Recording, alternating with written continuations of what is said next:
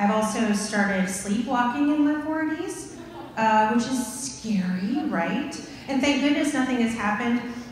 Um, it's only happened a few times, but you never hear about anything good happening when people are sleepwalking, right? They're always like eating paint, jars of mayonnaise, and waking up on the roof of their house with a hatchet in one hand and a squirrel in the other.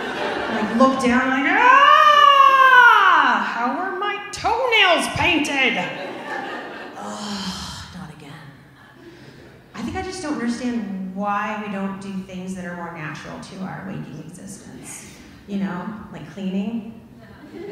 I think I might do a better job if I were asleep and cleaning. Maybe the window windowsills would get done.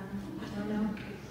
Um, or I'd love to wake up one morning and be like, see, these are part of the sounds that I'm making. It's just a chorus of that and flatulence, like the first 10 minutes of my day.